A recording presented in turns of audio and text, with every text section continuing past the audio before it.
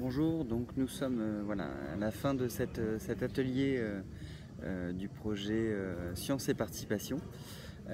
Et donc dans ce cadre, nous avons notre animateur Christian Reynaud nous a demandé de déterminer un principe essentiel pour mettre en place sur le long terme, donc animer une communauté, un collectif euh, autour d'un projet de sciences participatives.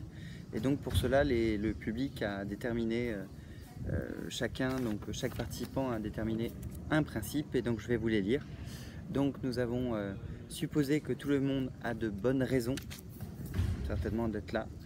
Construire un espace d'intéressement euh, également.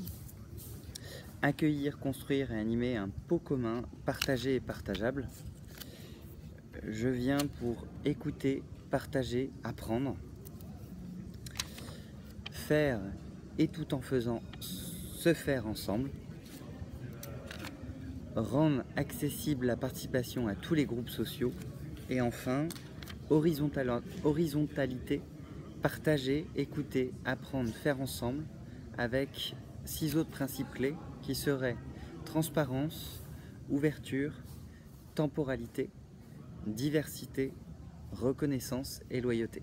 Voilà, je vous remercie et je vous dis donc à très bientôt sur le blog science et participation.blogspot.fr. Merci, au revoir.